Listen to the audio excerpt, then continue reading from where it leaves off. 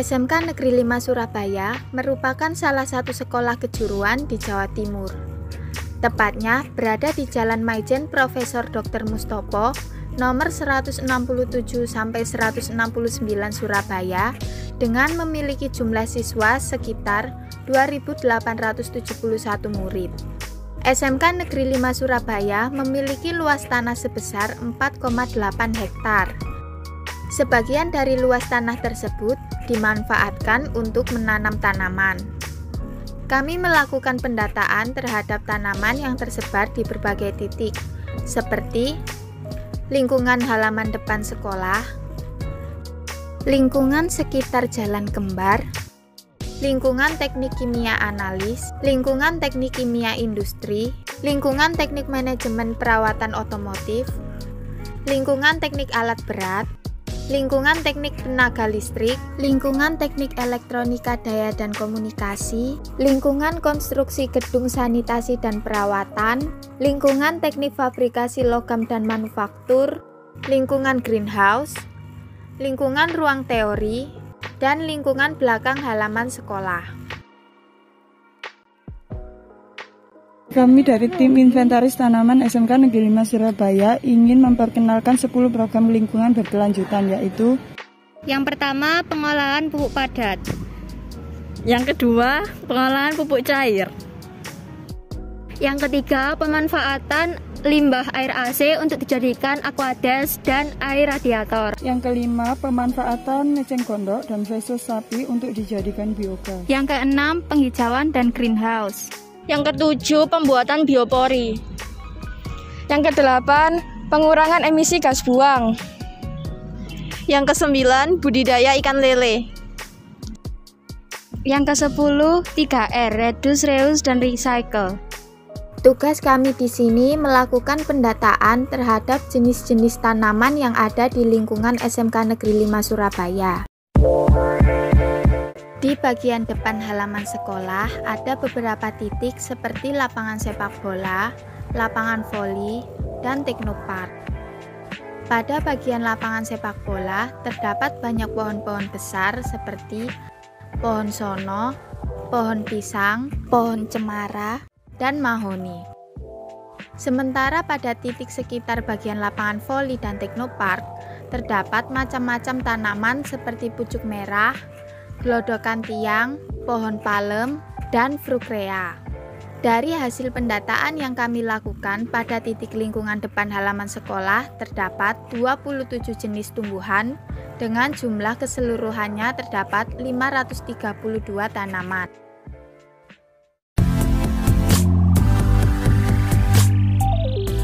Pada bagian sekitar Jalan Kembar SMK Negeri 5 Surabaya, terdapat berbagai tumbuhan seperti pohon juwet, pohon palem, temulawak, daun ungu, bunga pacing, lidah mertua, kencana ungu, dan lain-lain.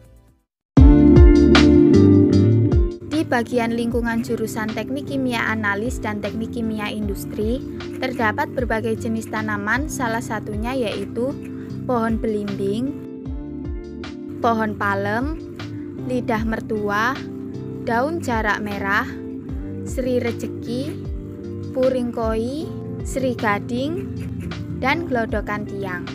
Dari hasil pendataan yang kami lakukan pada lingkungan sekitar jurusan kimia analis dan kimia industri, terdapat 49 jenis tumbuhan dengan jumlah keseluruhannya terdapat 287 tanaman. Pada bagian lingkungan sekitar jurusan Teknik Manajemen Perawatan Otomotif dan Teknik Alat Berat, terdapat berbagai jenis tanaman seperti pohon sono, pohon nangka, pohon sawo, pohon mangga, pisang-pisangan, hanjuang, drasina, pohon beringin, sri gading, dan lain-lain. Dari hasil pendataan yang kami lakukan pada lingkungan sekitar jurusan Teknik Manajemen Perawatan Otomotif dan Teknik Alat Berat, terdapat 25 jenis tumbuhan dengan jumlah keseluruhannya terdapat 238 tanaman.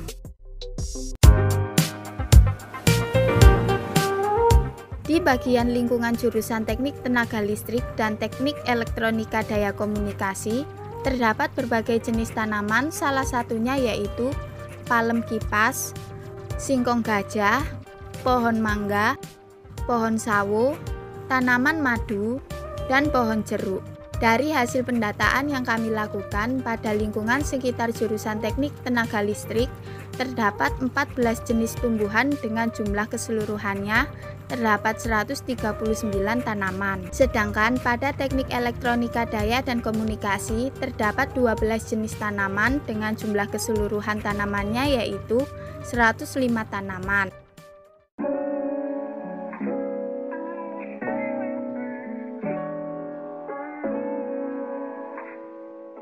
Di bagian lingkungan jurusan konstruksi gedung sanitasi dan perawatan, terdapat berbagai jenis tanaman seperti pohon beringin, pohon gelodokan tiang, melati Jepang, zinia anggun, dan lain-lain.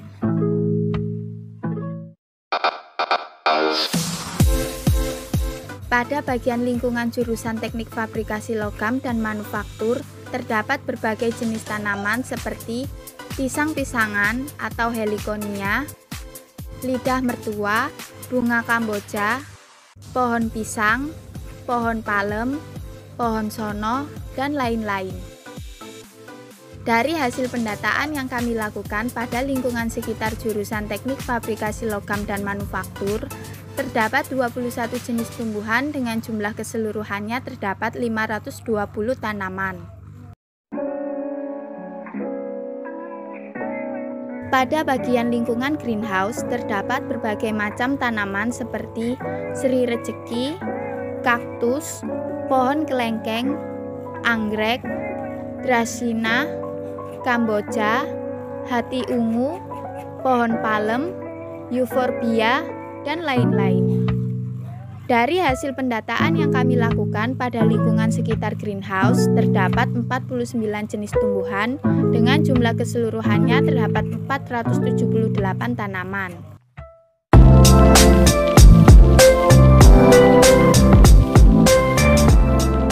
Pada bagian lingkungan sekitar ruang teori terdapat berbagai macam tanaman seperti hanjuang, palem, lidah mertua, kencana ungu, heliconia, pohon jeruk, pohon mangga, pucuk merah, dan lain-lain.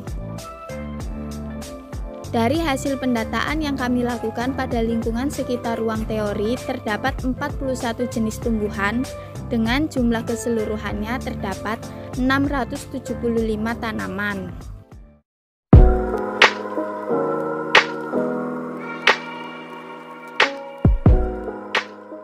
Pada bagian lingkungan belakang halaman sekolah, terdapat berbagai macam tanaman seperti heliconia, pohon palem, pohon jeruk, gelodokan tiang, pohon mangga, dan lain-lain.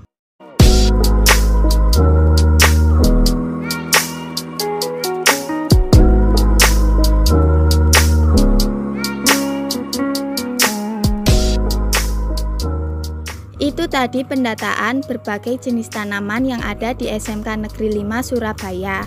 Untuk limbah daun yang kering seperti ini, nantinya akan kita olah kembali menjadi pupuk padat.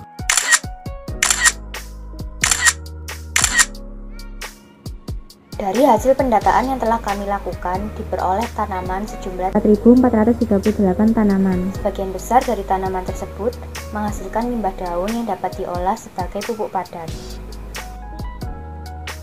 Adapun selama kegiatan, kami sangat berterima kasih kepada pembimbing kami, Ibu Dinas, karena selama kegiatan kami mendapatkan banyak sekali ilmu dan pengalaman yang tidak kami terima sebelumnya, terutama dalam pemanfaatan limbah. Sekian dari kami, semoga video yang kami buat bermanfaat. Jangan lupa untuk like, komen, dan subscribe untuk mendukung kami. Sampai jumpa di kegiatan selanjutnya. Dadah!